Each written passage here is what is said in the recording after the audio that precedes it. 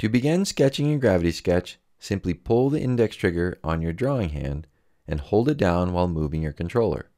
As you move, a line will emanate from the cursor floating just above the controller.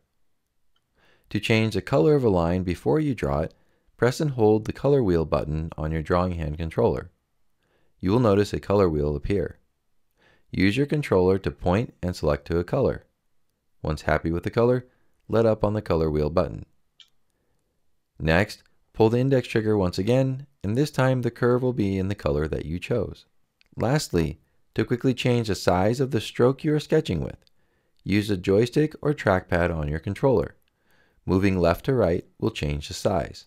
You will notice the size of the cursor floating above the controller will change in real time, indicating the maximum size of the stroke. Try sketching a few different strokes in different sizes and colors.